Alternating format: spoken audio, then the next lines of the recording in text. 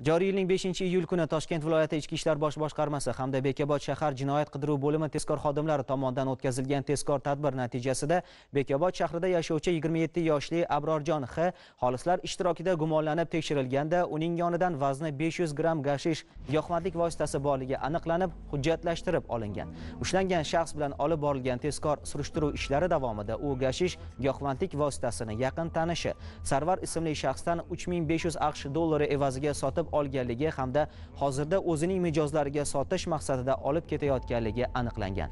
Sarvar ismli shaxsni jinoyat ustida qo'lga olish maqsadida o'tkazilgan tezkor tadbir davom ettiriladi. Bekobod shahrida yashovchi 22 yoshli Sarvar X mijozi Abrorjonga gashish giyohvandlik vositasi evaziga kelishilgan pul miqdorining 2 million 20 ming so'mini olayotgan vaqtida qo'lga olingan. Qo'lga olingan Sarvar X bilan olib borilgan tezkor surishtiruv ishlari davomida u gashish giyohvandlik vositasini Tojikiston Respublikasida yashovchi tanishi Hasan ismli shaxsdan 3500 AQSh dollari evaziga sotib olganligi aniqlangan.